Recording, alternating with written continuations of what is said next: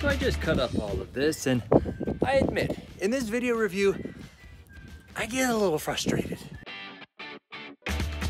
Now, having gone through many chainsaws in my life, I have to say that this little guy right here, a great bang for your buck if in fact you have the patience of Job.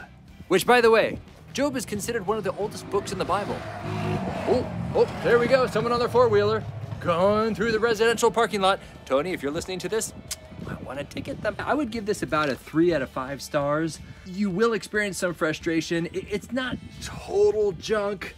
You might be able to make do if you're able-bodied enough to pull that several hundred times. It's one of those uh, chainsaws that's manufactured in an overseas factory. It's all warmed up. I cut a bunch of wood, and since it's so warm, we don't even need the choke. We're just gonna turn it on like that. Everything's ready and engaged. Got our PPE on. Here we go.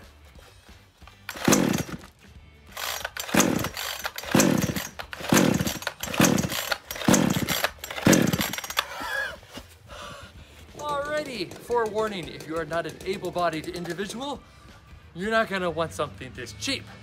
But if you wanna put some sweat equity into it, let's see if it actually fires up the second time around. So, I completely changed the spark plug, which it does come with another spark plug, thank goodness.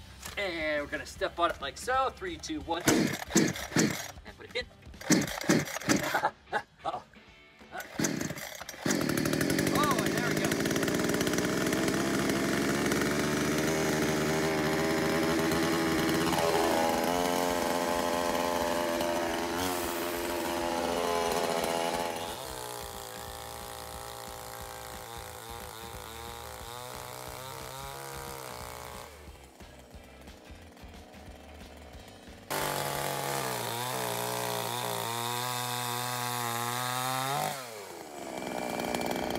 But if you can spare an extra one or two hundred dollars, then just go with one of the Stihl US made versions and you'll probably be a much happier camper.